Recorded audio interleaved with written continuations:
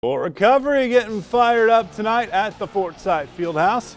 Indians score first. Peyton Judy, short jumper here, and that friendly home rim roll. How about St. Henry? Caden Niekamp hitting the short jumper. Big man's got touch. Then it's Zach Niekamp.